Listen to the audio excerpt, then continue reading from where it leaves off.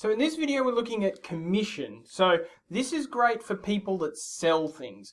The more you sell, the more money you make. And it works a little bit like this. Alice earns a 7% commission on all electrical goods she sells. Alright, so if she sells $100 worth of stuff, she gets 7% of that, which is $7. She sold $8,000 worth of stuff this week. How much is her commission? So it's pretty easy to figure this one out total commission is equal to um, total stuff, we'll call it total sales, times the commission percentage. So that's going to be equal to total sales, $8,000, times the commission percentage, which is 7%. Now you have to express it as a decimal, so 0.07 is the same as 7%.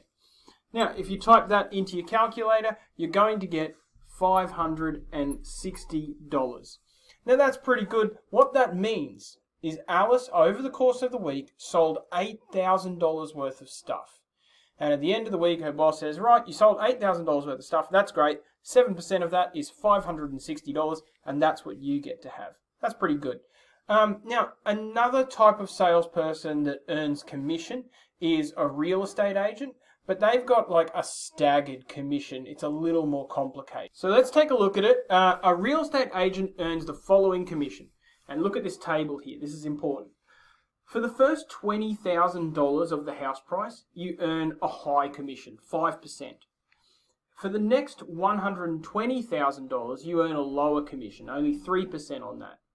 But then everything above that amount, you only earn 1%. That's what I mean by a staggered commission. The commission goes down as the house price goes up.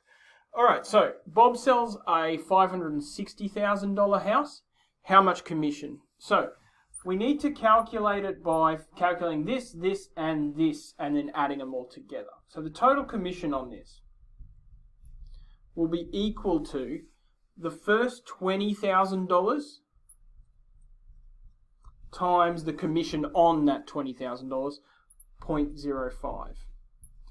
Now, after that, we have another 120,000. Now, this house is 560,000, which is more than this and this added together, which means that he's going to get all of this $120,000 commission.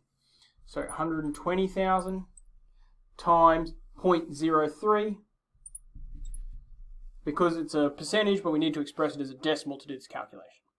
Now the hardest bit is this next bit here, which is figuring out how what the number is here. Okay, uh, it was a five hundred sixty thousand dollar house. We paid him um, twenty thousand. Sorry, we paid him uh, five uh, percent of twenty thousand, three percent of one hundred and twenty thousand. Now what's left over? All right. Well, why don't we just put it into our calculation itself? The total cost of the house was five hundred sixty thousand dollars. Make sure we put enough zeros there subtract the initial 20 grand for the first commission, subtract the 120,000 for the other commission, and that is how much is left over. Now, if you do that, maybe you can even do it in your head. Uh, 560 minus 140, that's uh, 420. So that whole bracket there is $420,000. That's the amount that was left over after these first two were dealt with and we're multiplying that by 0.01. So, calculation here, calculation here, calculation here. We'll have three numbers. That's the commission for this, this, and this, and then we can add them all together, and that will be this real estate agent's total commission. So 1,000 on the first $20,000, uh, 3,600 on the next 120, 4,200 on the next 420,000. We add those numbers together, we get a total commission of $8,800. This real estate agent has earned himself $8,800 when he sold this one house. That's pretty good going. So in a nutshell, that's commission. Uh, there are other variations here. Some people get paid a little bit of money, what's called a retainer plus a commission, uh, but you can explore some of those uh, as you work through some questions.